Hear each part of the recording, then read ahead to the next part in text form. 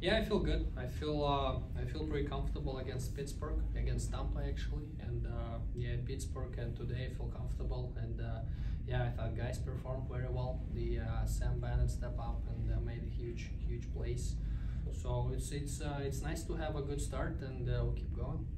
Much cleaner game tonight, correct? I mean, you didn't have dog piles in the net and stuff of that. You just were able to face some pucks, really. Yeah, yeah. Uh, I thought uh, I, I saw the puck well. You know, there was a couple drives in, and uh, guys did a great job on the PK. You know, to keep the uh, keep the shots outside. So it's a it's a, it's a good team effort, and it's a good two points for us.